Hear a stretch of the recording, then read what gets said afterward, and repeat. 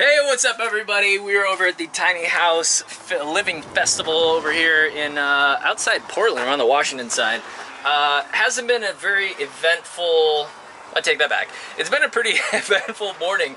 Uh, basically, I've had people come inside the bus, giving little tours. Uh, I actually gave a banana out as well.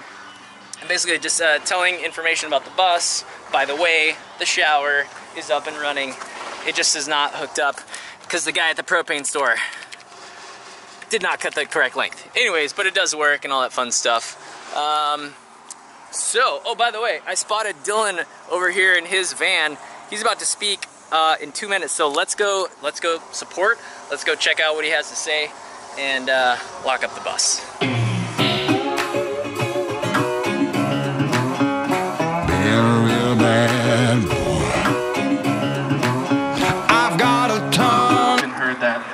Some people have figured out how to make that their career and live off of that. And I was like, hey, I think I could do that. Other people have done it, so it's not impossible, obviously. So I decided in November of 13 that that's what I was going to do. And I dropped out of community college in, what was that, 14? Yeah, uh, September of 14. I kept going for a little bit to keep the parents happy. And then I dropped out and was like, all right, full bore into YouTube and went straight into debt. like two and a half years, just went straight down into debt. But as long as like you don't give up, you're never down for the count. You just keep standing back up, and it eventually worked out. And so now this is what I do. Um, and so about a year ago, I switched my filming style to what I do now. And what I do now is I film short documentaries on alternative styles of living, like tiny houses, van dwellings, buses, boats, all of the above, and others. Tree houses sometimes.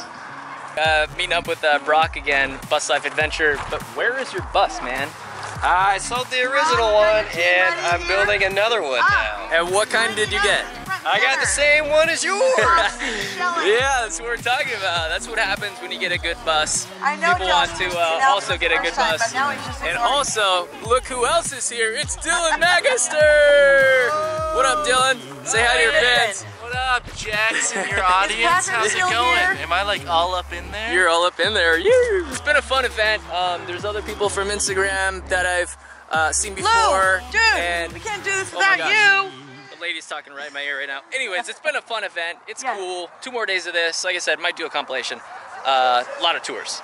Anytime I talk all day long, it's very exhausting in a completely different way.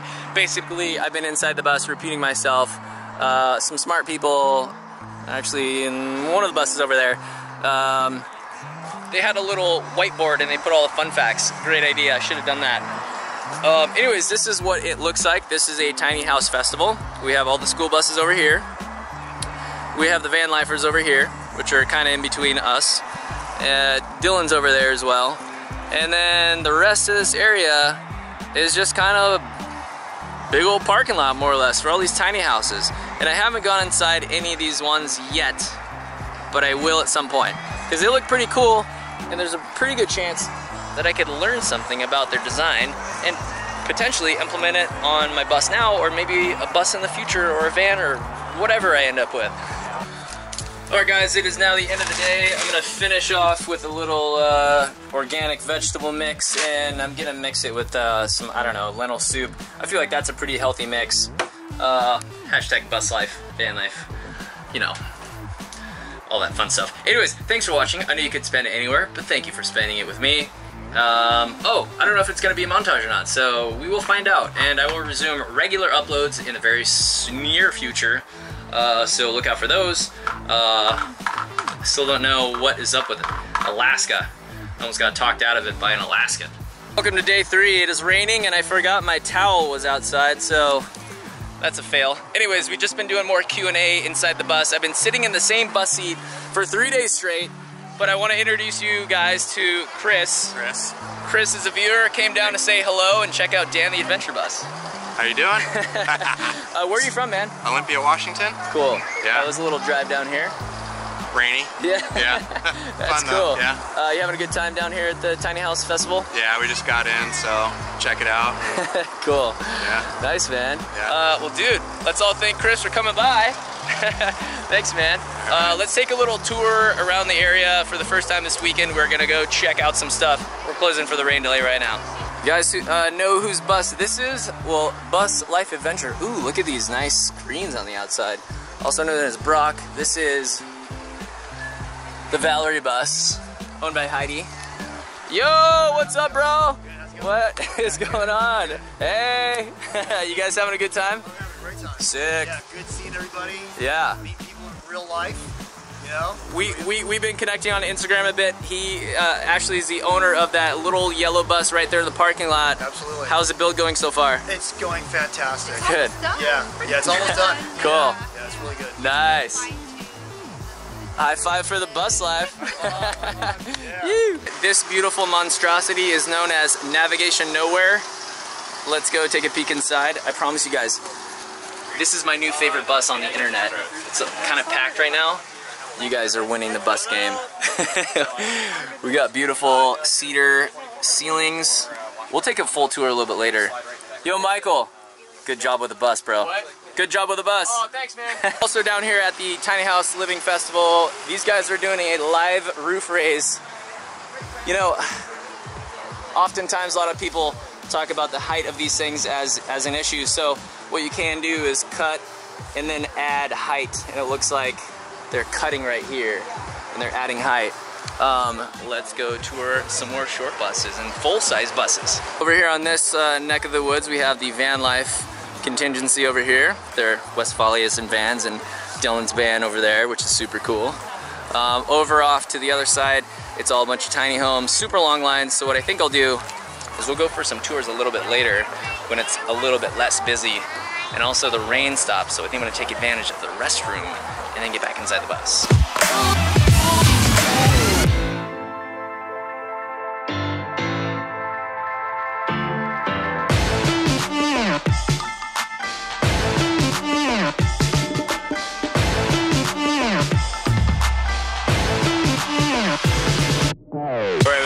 Let's go for a, a quick tour in Navigation Nowhere. Hello, hello.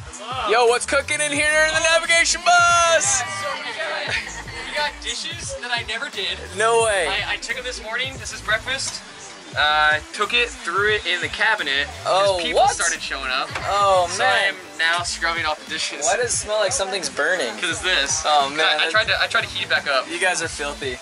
Filthy animals. What's cooking over here? This is some meat that's not doing so great. Okay, awesome. But we're gonna go through a quick tour.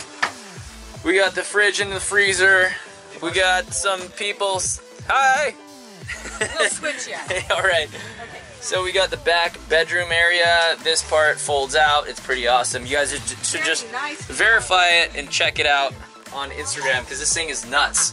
My favorite bus used to be the happiness bus, but this one wins oh, hands down. Tall order. I know. That's a tall order. It's awesome. It's awesome. I'm jealous. Well, it's great. Come live with me. Cool.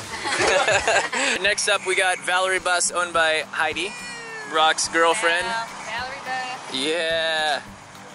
So we're gonna do a quick little tour. Hey, what's up, Brock the man?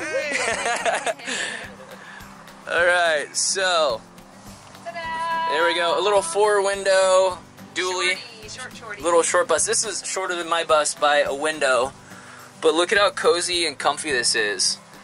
This is awesome. What's your favorite part about the bus? Uh, the Bota Box holder. Oh my gosh, a little wine holster right there. Brilliant. Uh, you guys should definitely check out Heidi at the Valerie Bus on Instagram for more info.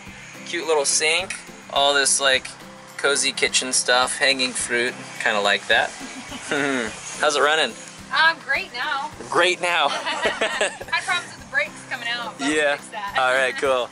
Next up, we got Skoolie Love on social media with Patrick.